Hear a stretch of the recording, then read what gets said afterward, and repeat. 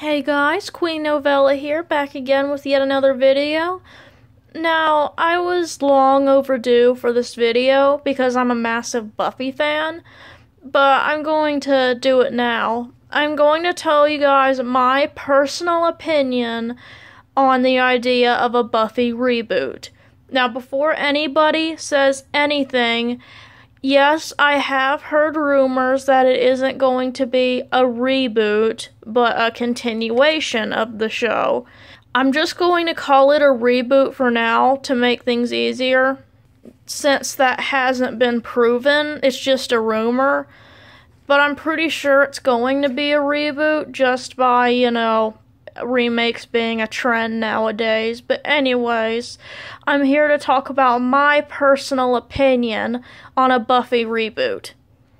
Okay, first off, there are a lot of people who are not happy about Buffy being rebooted. I mean, the original show was really good, and I understand that. I mean, it's taught in colleges. I mean, that is quite an achievement for a show. But Anyways, I know a lot of people are worried that it's going to be bad or it won't live up to the original series, which it probably won't. I don't expect it to.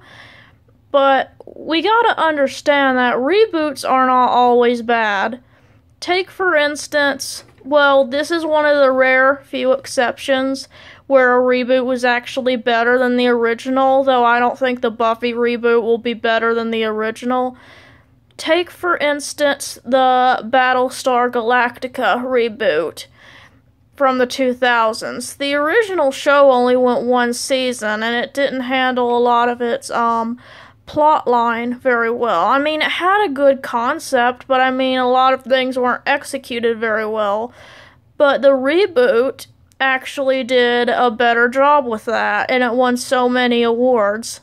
But anyways, I know it's not probably not going to be nearly as good as the original, but honestly, I'm fine with that. I'm fine with it not being as good as the original. I'm actually excited for this reboot. I mean, yeah, like I said, it's not going to be nearly as good as the original, probably, but it will never replace the original show. The original show's a classic.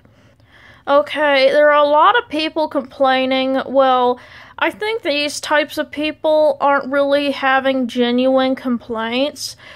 They're all like, well, Sarah Michelle Gellar was the original Buffy, only she could do it. Actually, that's technically not true. Kristy Swanson was the original Buffy in the Buffy movie. But Sarah Michelle Gellar was the better Buffy, I would say. And I don't think Sarah Michelle Gellar wants to be involved in the reboot at all. I don't think she even acts anymore, if I'm not mistaken. And a lot of people are complaining that Buffy in the reboot is going to be African American. Which personally, I don't see anything wrong with that. A lot of people are really angry about that because they feel like he's quote unquote trying to be too uh, like he's trying to appease the people too much, but honestly, I think a Buffy, an African American Buffy, does make sense for this time. I know you guys are probably wondering what I mean by that, but, um, back in the 90s, when Joss Whedon first came up with Buffy, women were very, um, were not represented as much in television, which that has changed now because of, of Buffy and a few other shows, but at least Buffy had the most impact. But now he's trying to represent a more underrepresented underrepresented group in media, African American women. So maybe an African American Buffy does make sense. Another reason why I'm excited for the Buffy reboot is because honestly, remakes are kind of inevitable. I mean, just look at all the Disney live action remakes they're making. I mean, I'm personally not angry or disappointed about it. I knew it would happen eventually. I guess a lot of people think that they're not coming up with their own original content anymore, and that is a fair complaint to have. I mean, But a lot of the Disney live action remakes have been pretty good. I'm excited to see the Lion King remake. Okay, I know not all of these people are just complaining about the Buffy reboot just because it's a reboot. Some of them may have genuine complaints, like, for instance, in the Lion King remake, there was a rumor going around that Be Prepared was not going to be in the Lion King remake. Which, you know, I agree, that is unacceptable. I mean, that song was an important part of the movie. But since the Buffy reboot, we don't know a lot about it yet. Uh, there's really not a lot we can go off of to make a fair criticism about it. You know what I'm saying? Oh, and speaking of Disney, since Disney owns the rights to Buffy now, I don't know how they're going to handle a reboot. Like, I heard there's a new streaming service, I think, called Disney Plus coming out.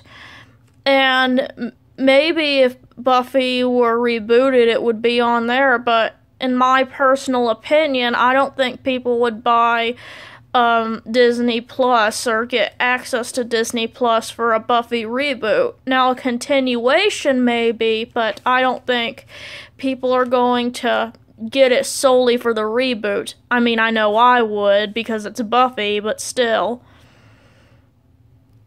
I mean, look, guys, I'm not saying all the complaints about the reboot are invalid. I know a lot of people are just scared it'll be butchered, but since Joss Whedon is coming back, I mean, I probably. I'd probably still watch it, but I wouldn't have high hopes for it. If Joss Whedon did not come back to do the reboot, I would probably, you know, be saying something different. But since Joss Whedon is coming back, I think it's a good idea that we just. I mean, we can be excited, but we could just wait to see what happens, if you know what I'm saying. Anyways, that's all I have for you today, guys. If you enjoyed, please like and subscribe and comment what you think about the Buffy reboot. Do you think it'll be good? Do you think it'll be bad? Do you think it'll be better than the original or worse than the original? Or about the same, who knows? Anyways, guys, with all that being said, I'm Queen Novella, and bye!